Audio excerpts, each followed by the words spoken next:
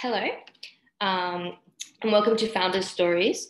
Uh, my name is Mary English, and I'm the community manager here for Tank Stream Labs Perth. Um, before we get started, I'd just like to take a minute to acknowledge the traditional custodians on the land on which we gather here today, um, the Whadjuk Noongar people, and I pay my respects to elders past, present, and emerging. Uh, for those of you who don't know, this session is being recorded and will be available on our YouTube channel um, afterwards uh, for if you want to rewatch, share, uh, listen in again.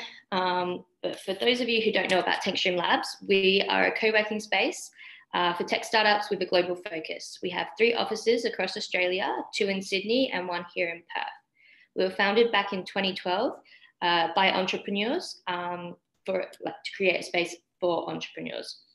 Um, so with that, Tank Stream Labs was born um, and we exist to help support the growth and innovation of the startup ecosystem across Australia.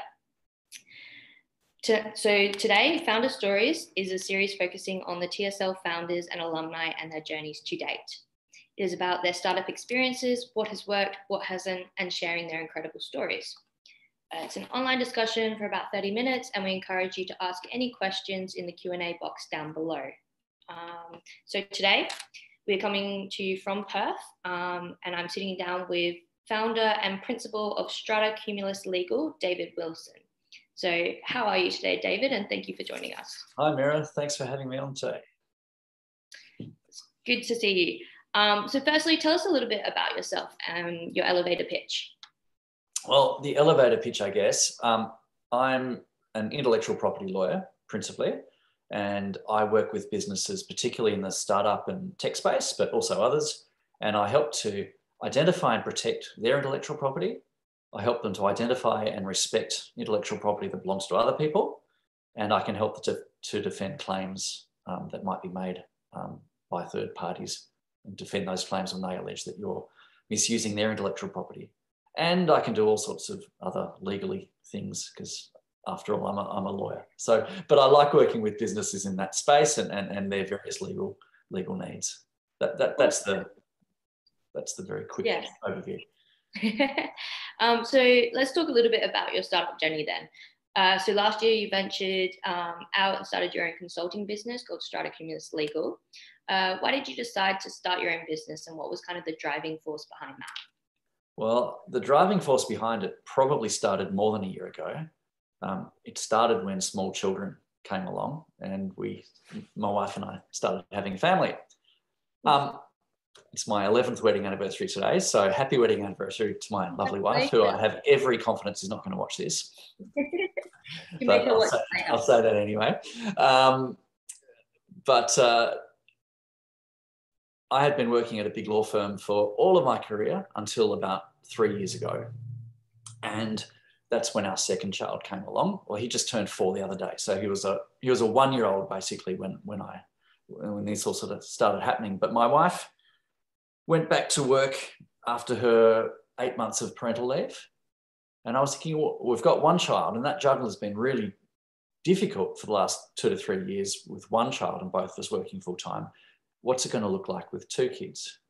And um, that prompted me to say, this is not going to work. So I left um, and I spent six, five or six months at home as a stay at home dad, which was a great time. Um, very busy, didn't get nearly as much done as I hoped because obviously my eight month old baby grew up and turned into a little toddler and did all the things he should have been doing, including, you know, wanting more attention and, and um, interaction with, with, with the world. Um, and it got to the point where I, I, had another role for a little while um, on a project that uh, COVID came along and interrupted that because that involved people traveling all over the place. So that was, I think, a signal for me to um, press the button and start up my own practice. So the timing, in one sense, couldn't have been worse because it was the beginning of COVID. But on the other hand, uh, what, what, did I have to lose from it? Hmm. Um, so I set up a, a, very small fledgling consulting business where I um, can help, as I said a minute ago in, in the elevator pitch section, I can help small businesses and, and whoever else, but particularly I like working in the IT and tech space. I have a history of being uh, working in intellectual property law, and now this allows me to do the type of work I, I want to do and, and focus on, on doing it in a way that I enjoy while still trying to maintain some sort of flexibility around uh, around kids. So uh, the story is that my wife works full time, I don't, and um, that's just the juggle and how it kind of works. Yeah, that's nice. Um, now, so for those of us who don't know or really know out there, um, including myself, tell us a little bit about intellectual property law and its importance. Well, intellectual property is one of those things that I think a lot of commercial people think they know what it is, but when they come and talk to a lawyer, they work out that there's a mismatch of expectations between sort of the way the term is used in a, in a daily commercial sense and, and the way lawyers use it in a, in a technical sense. So I, I like to help sort of bridge that gap a bit and, and work with um, work with people to identify what ident- what IP assets they actually have and uh, and how they can best exploit them for their business. So there's a, there's no single thing of intellectual property. It's, it's it's a term used to describe a number of different rights, and different people use it in different ways. But the most commonly known forms of intellectual property is copyright, so the expression of ideas and concepts. And the most consumer-friendly pieces of copy, copyright that people will identify with are movies, music, software, that sort of thing but also business documentation and manuals and um, marketing materials and photographs and artwork and all sorts of different things. Patents protect inventions. And it's a fairly fairly high threshold to get a patent, mm. but um, it, you have to come up with something that's new, never been done before, and is a an inventive step. It's called over the existing te technology base in that field. Mm. But patent is another form of intellectual property. Um, a registered design protects the shape and appearance of a manufactured product. Again, it's got to be something new in the zoo, unique, um, not done before. Yeah. Um, so it might be the shape of a might be the shape of a uh, piece of consumer packaging. If you come up with a new bottle shape for your new soft drink, maybe yeah. maybe that would be registrable as a design. Um, everyone's familiar with trademarks and branding. Mm-hmm. So it could be a word slogan, word slogan, uh, logo, whatever it is that identifies it, your business and distinguishes it from, from others. Mm-hmm. And there's a few other minor forms of intellectual property as well. I guess the one that um, comes up fairly often is confidentiality as well. People want to protect their trade secrets and their business information from being seen by others where, legitimately where, where you can do that. So altogether, those things lumped up are commonly referred to as intellectual property. And the thing that makes it difficult to work with for businesses is they're all intangible. None of them are physical things. So it's easy to conceptualize, sorry, it's difficult to conceptualize what they might be. And it's easy, therefore, to conflate some of those concepts together. So that's where I can assist to identify what it is and, and how to best use it for your business and also how not to misuse other people's intellectual property and get yourself in hot water. Yeah, right. Um, so going back a bit, we all know the process of starting any business is difficult. However, starting a business during a global pandemic is a whole nother story. Uh, what were some of the challenges you faced and what were the impacts that had on your initial success, if any? Well, I, I don't know if you're using the word success yet, Mira. I think we're too soon into that. Um, I'll, I'll say this up front. I think here in Perth, we've been extremely lucky that we've been almost unaffected by the pandemic in many ways. I mean, of course, there are some businesses that have been, but in terms of lockdowns and restrictions on our on our daily life, we've been extremely lucky that we've had very little. I've got family living in Melbourne, and they've just been through a hell of a time the last 12, yeah. 18 months. And compared to that, um, we, have had it very, uh, very good here in Perth. Mm. So, uh, you know, starting a business during the global pandemic, I mean, I think in my case, I've been much more affected by the time constraints of having a young family than I have by the pandemic itself. I suspect that's a factor in the background there somewhere, particularly when it gets when it comes to getting out and gaining traction among um, putting my putting my best foot forward and meeting and mingling with people. You know, a lot of events have been cancelled. Things are online, um, yeah. even here, and, and that made it hard to get out and meet and greet people. But um, I think the bigger factor for me has been simply the time constraint of being a parent trying to run my kids around Perth with playgroups, school drop off, school pickups. Um, today, for example, is the first day of term four in school here. but my my son's school has got a, a teacher only day. Yeah. And so I've got my son at home down in the next room watching watching cartoons. Don't tell my wife, but she's not watching anyway. Um, while I'm in here talking to you for an hour, so I think that's really been the challenge for me has been juggling all of that um, whilst uh, trying to start up something and, and, and get some traction going. Uh, so I think I think your question was what impacts has it had on on my success? I, I think the answer is it's really um, uh, what's the word? It's it's moderated my expectations of what I can realistically achieve. Mm. And, I think one thing when you when you're starting out like this, uh, you need to think about what success means for you. And I think in my context, it, it can't success cannot mean earning squillions and squillions. Mm. Well, maybe that's not important to me anyway, but um, but it's more about keeping things going, keeping myself active, keeping my professional skills alive, keeping my business network running, all whilst being a, a dad to the kids. Yeah. So going from that being a dad and wanting a good balance between work and dad life, um, what is one of the core reasons you chose to start your own business? Like, how do you manage the two of like work and being a father or full-time father? Um, and do you manage to maintain that good balance? Well, there's no good balance. it's just a juggle you're constantly striving for.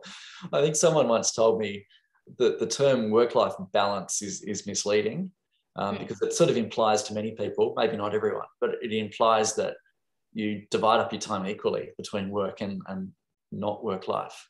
Yeah. And I think a, a, much better way to express it is work-life satisfaction, mm. which is making sure that, you know, whatever your personal situation is, that you're, you're satisfied with the, with the, um, with the balance or, or the that's the word I'm trying to avoid using, isn't it? But you're, you're, you're satisfied with your with the uh, ability to mix those two things and juggle those two things together. But it's an impossible balance to, to ever get completely right, and you've always got to make compromises. Um, I mean, it is the one of the core reasons I chose. I, one of the core reasons I'm going down this pathway, but um, I, I think my expectations have um, probably become more realistic as time has passed. That um, when I started out, I thought, well, I've got school drop off at nine. I can then hit the desk, and I've got school pickup at three, and I've got six six solid hours to just work away. And you know, you know that doesn't happen because for my son to have school uniform ready for tomorrow, I've got to do two loads of washing or whatever it is, and then I've got to do this and I've got to do that. So your time is always going to be constrained mm. by the things that are outside outside the work environment. Um, but that's also one of the reasons why I came in to start working at Tank Stream Labs recently. Yeah. Was to get some some some clear headspace away from away from all those distractions, and yeah. I can sit down with some adults around me who probably don't want me interrupting them, but um, but it's nice to have some adult conversation in the office and and, and sit down and, and talk. So, you know, that's one of the small things I can do to try to get that that, yeah. that sort of balance back again. No, that's good. Um, so following on from that, what kind of advice could you give to a dad or any parent um, looking uh, who's looking down a similar path such as your own? I'm gonna I'm going to constrain my comments to dads, not all parents, um, because these are issues that working mums have been facing for decades and decades and decades, and working dads typically haven't been. You don't even hear that expression, working dads, very much. And, and maybe we should hear it more. So I, I think what I would say is um, you've got to think about this stuff. And I confess, I didn't think about this stuff nearly enough before I um, before children came along. What it was going to look like, I think I was just going to, in my mind, it was all just going to work out and it was all just going to take care of itself and um, life was going to be, was going to be fine. But you have two little, I've got two little creatures, um, very lovable, uh, fine creatures, but they, uh, they need a lot of attention at times. And even when they're not physically at home, you've still got to be doing running around and things to, um, to get ready, to get things ready for them. So I, I think especially for dads who, you know, stereotypically haven't thought about these things very much. And particularly if you if your wife or your partner also has her own career, it's something you really need to think about pretty pretty early on, and better than I thought about it. Um, is, how how are you going to manage it? Who's going to take um, who's going to take, I guess, the time to keep everything running smoothly, or to what degree are you prepared to outsource your parenthood to others? There's always possible to delegate. Um, there's a there's a cost that comes with that monetarily, but also um, the relationship you have with your kids if you if you delegate out too much. But you know, this is something that all families have had to deal with for such a long time. But I just think that um, for so many years that it's just been seen as a working mum issue, and that, that it really shouldn't be anymore. I'm a, I've become a firm believer that for women to maintain their careers and be encouraged to um, stay in the workplace and advance their uh, advance their careers, men need to get out of the way. Mm. Um, that's the only way it's gonna it's gonna work. Yeah. And spending time with your kids is fantastic. It's great fun. So after this call finishes, my son and I on our day of last day of school holidays, we're going to do some cooking, and then we're going to do some uh, we're going to do some work in the garden together by planting up um, some herbs in a pot for my son to um, have ready Yeah. when we do some cooking next time. So but I'm not going to get much work done today after this call finishes. So you're still getting work done. You're spending time with your kids. That's right. It's unpaid work though. Um, but as a working dad um, and full time full time dad working, um, have there any been like any challenges you've noticed as being a dad, being the main person at home with the kids? Have you? I wouldn't say that challenge. I mean, challenge in the sense that um, it, it involved reinventing myself a bit, um, but nothing I was nothing I ever shied away from. Yeah. More more than happy to to do all those things. But um, I take my younger son um, to a playgroup kindy Mm. twice a week, and I am typically the only dad. Um, Yeah. year and year in year out, that's been the case. I mean, you do get some other dads occasionally, but it's certainly not not a, a spot where where fathers are, are seen with their you know two year old, three year old children very often. Um, I'd like that to change. I, I, I don't know if that's such a challenge. I mean, it's it's not it's not difficult to take your kid to a playgroup, but in that sense, um, I mean, there's been other challenges that I mean that any parent faces. That you know, just when your kids are growing up. Um, um, some of them I probably I'm thinking about that. Some of them are pretty grisly and gruesome when it comes to. I'm not going to talk about. People don't want to hear publicly me talk about toilet training, but um, but that, that was quite a quite a spell. Yeah. so, so we, let's not let's not get into that. did not hear about toilet training um, on a Monday morning. It is a challenge though. Let's put it that way. Fair enough. Um, okay, so just going back a bit, back to intellectual property. Yes. Um, what is a your good a good like- segue from toilet training, by the way. yeah, yeah. Um, what is your like real interest in uh, intellectual property? Like, what got you interested in it? Oh, so long ago. Um, I have always been interested in. I don't have any sort of tech or engineering or science education background to me, but I've always been interested in how the law is always behind where technology is up to. Yeah. And so, for example, the, the history of copyright law has always, the the protection that copyright has afforded things has always increased incrementally as new technologies have been invented or, or evolved. So copyright first existed because somebody invented the printing press. And all of a sudden, to copy a book, you didn't have to handwrite it. You could actually, you could actually mechanically reproduce a book much more quickly. Hmm. And then it evolved. So we still call in the, the Australian Copyright Act still calls a moving image, it calls it a cinematograph film, despite digital technology. That's pretty archaic, but that's what it's called. Um, and, and then there's been added bits of copyright for sound recordings, um, for um, various bits of digital technology. And, and one, the next challenge I think for copyright, and I it's only one type of intellectual property law, is going to be um, artificial intelligence and automation.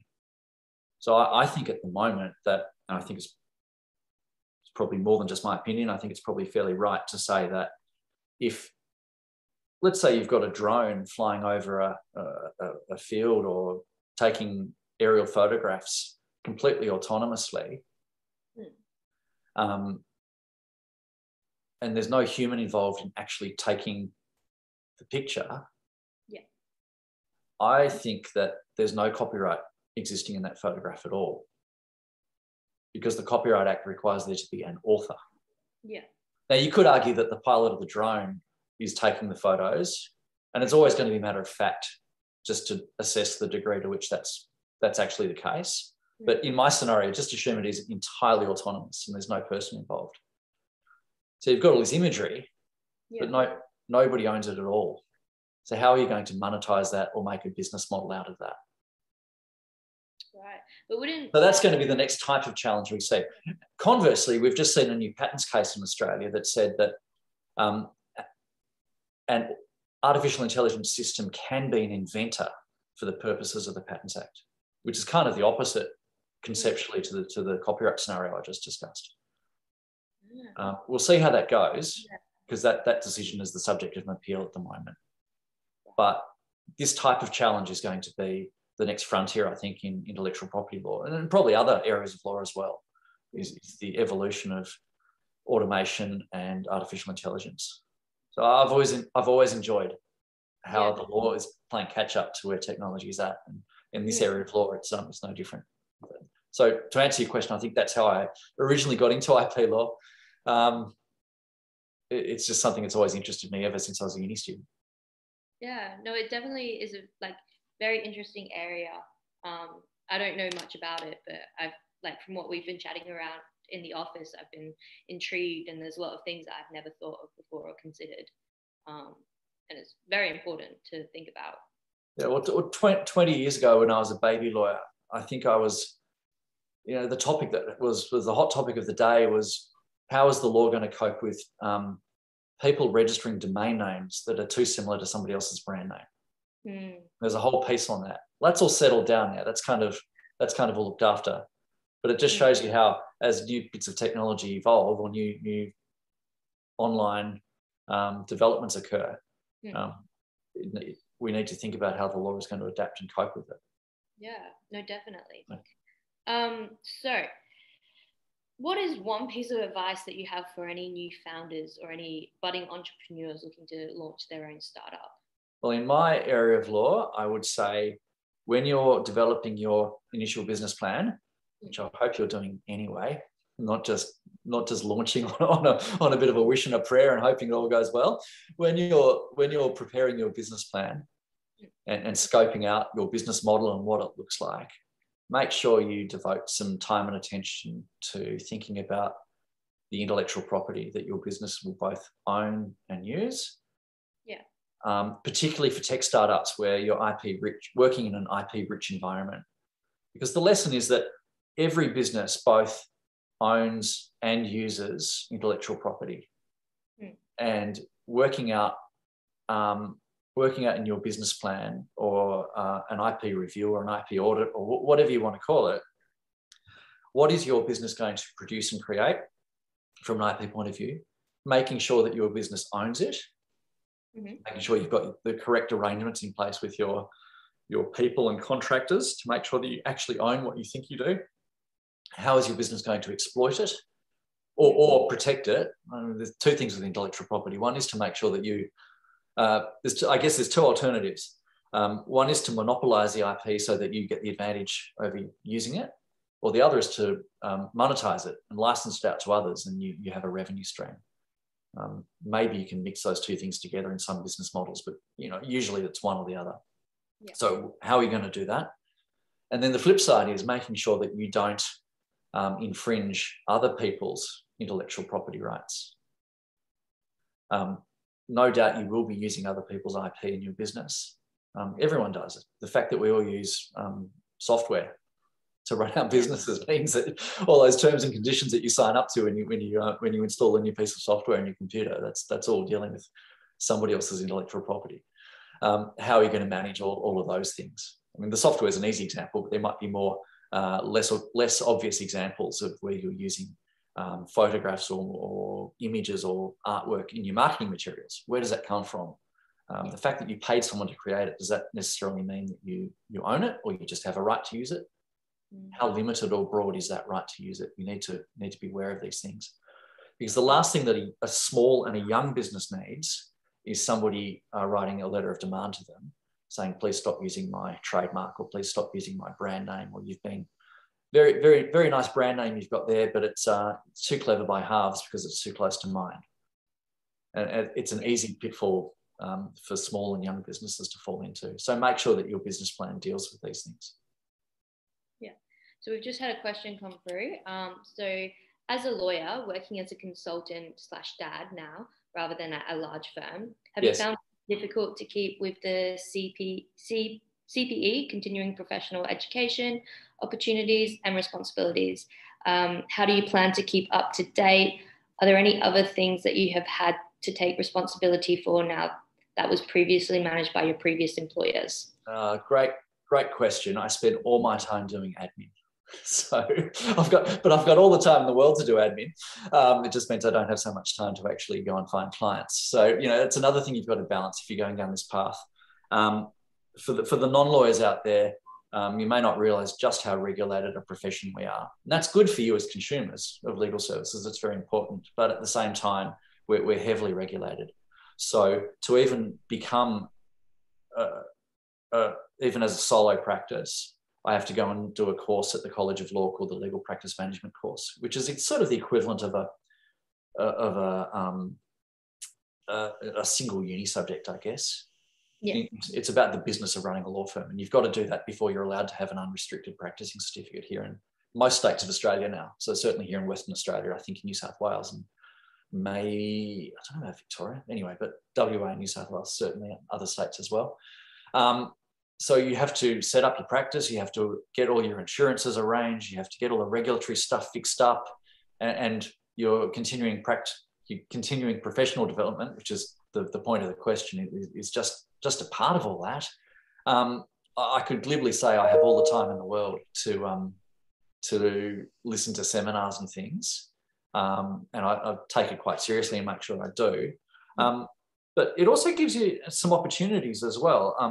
I ran a seminar just recently through Tank Stream Labs um, for one of Tank Stream Labs' other um, members here in Perth, the um, Perth Machine Learning Group. Mm. I was invited to give a seminar on, uh, I, I, discussed artificial intelligence and, and intellectual property and who, who owns it, particularly in light of that patent case I was talking about recently. And that was an opportunity to apply for the Legal Practice Board here for um, approval of that event as a CPD activity. Mm. So it, it, creates it creates opportunities as well, so that when I want to do my marketing, if it's if it qualifies for CPD approval, then um, that's that's a way to gain points. And fingers crossed, if uh, if approval from the, the board comes in, uh, for yep. attendees to, to gain their professional um, points as well. Mm. That was very interesting. So you've got to think about these things as an opportunity, uh, not only as a, a, a burden on your on your practice. But there are so many things that um, that you have to take care of now that that when you're working for a law firm that an HR team just takes care of for you. Yeah. Not just the regulatory things. I mean, I made a joke with you the other day, Mira, didn't I? That um, I, I got my uh, I got my marketing team to do a, a, social media post, and I got my IT guy to upload it, and then I um, it was all me. There's no one else. There's no one else. Just wear all the different hats. It's fine. Correct. Correct. um, so, what have you got planned for the future of Strata Cumulus? Well, I've got some plans for down the track, but just for now, like I said before, I'm a, I'm a very fledgling business, and I think it's going to be in that form for quite a while, at least while my kids are, are young, mm. and that's completely fine. Yeah. Um, but I do need to um, just keep gaining traction, let people know I'm here, mm. um, and, and, get up and running. And, and then perhaps when I'm a bit more confident with that and, and things are happening a bit more than they are at the moment, um, I've got some ideas of a few things I'd like to do. I'll keep them under my hat for now. Fair enough. But I, I, think there is a couple of things to do. Um, I, would like to develop some more products mm. that um, that generate some, um, uh, I guess, generate some documentation, some products that people would be able to download and, and generate some passive income while I, I can get in there and do the more bespoke um, actual consulting. that, that I enjoy doing with people. Um, that's one way of perhaps expanding a little bit, but it takes a bit of time and effort to, to get those things up and running. Um, and I, I, won't talk about it in this call, but Mira, I mentioned something to you the other day, which is um, an idea of what I'd like to do. Oh yes, yeah. Um, which we'll talk about later, but um, uh, let's see if we can get that up and running as well. So there's a few ideas floating around. Yeah, sounds good. Um, well, we just hit the 10:30 mark, um, so wrap it up. But thank you so much for joining us today, David, and sharing your story. And thank you to all the attendees who watched along. Um, we run the Founder Story series once a month um, in 2021. Um, and if you'd want to access any of the content from previous sessions or this session today, you can find it on our website or on our YouTube channel. Um, and we also have our digital membership that you can sign up for to access all of our online exclusive member only content as well. Um, so thank you everyone and we'll see you next time. Thanks, Thanks David. Thank you. Bye, Bye everybody.